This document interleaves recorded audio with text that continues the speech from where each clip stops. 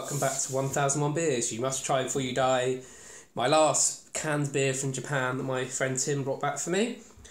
Um, which is a shame, but um, there'll be more beers to try. Um, my stash is almost empty. I've got uh, one, two, three, four, five, six. I've got six beers left, and they're all going to be drunk in a session with a few friends. Uh, they're all uh, so looking forward to those. They're all from Sweden, Finland, and Estonia. So those coming up quite soon, uh, in the next week or so. But onto this beer. Uh, it is uh, from Japan, as I said. Uh, I don't know which part of uh, Japan it's from. Doesn't say. It's five percent. First brewed in two thousand five.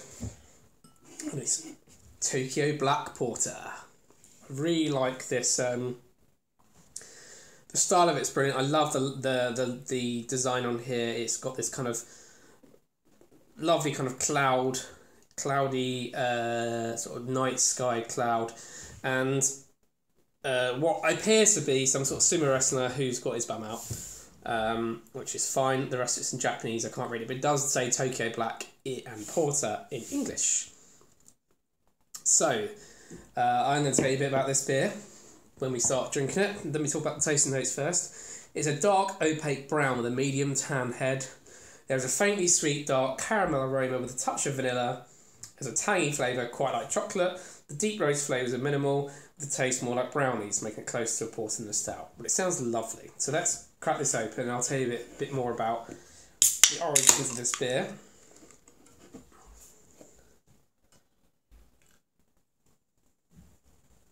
Looks nice.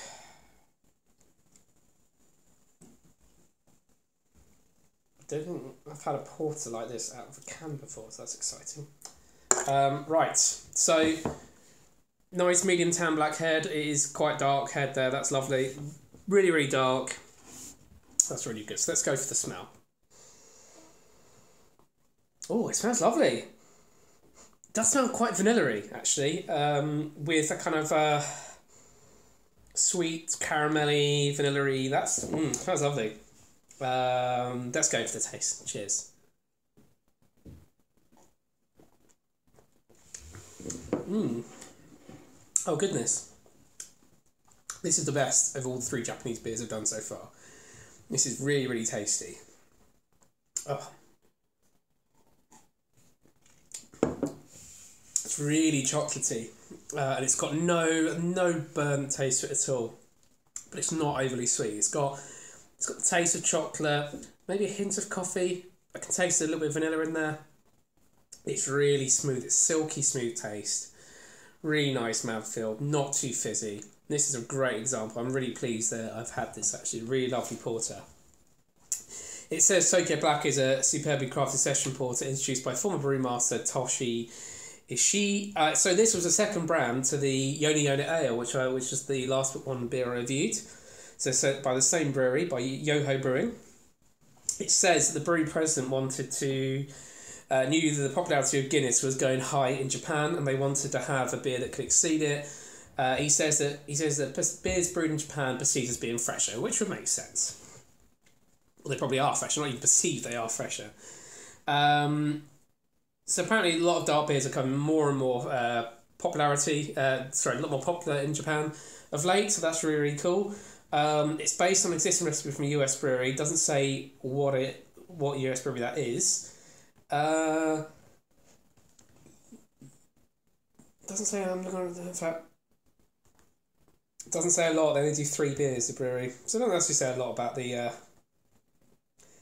uses nice water from a resort. Not a lot to say about it, but clearly this was meant as a competitor to Guinness. Uh, this is so much better than Guinness. It's you can't. I don't even compare. This is just so much more flavour to it.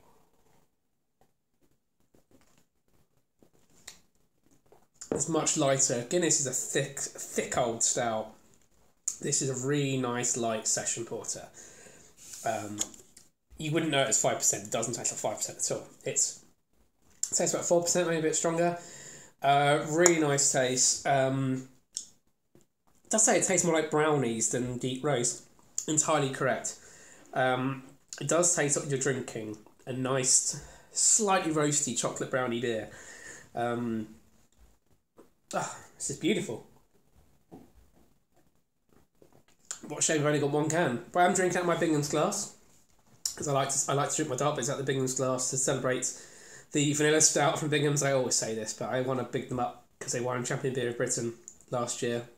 So, uh, good good glass uh, a dark beer out of. Um, so Tokyo Black. I'm going to go away and enjoy the rest of this. Uh, it's a beautiful beer. Um, highly recommend it if you've never had it. Although I've never seen it in this country, so you may not even find it. It may be available only in Japan, which is exciting. Um, have you ever had it before? Comment on the video, like the video, and subscribe to my YouTube channel if you want to see all those Estonian and Swedish and Finnish beers I've got coming up.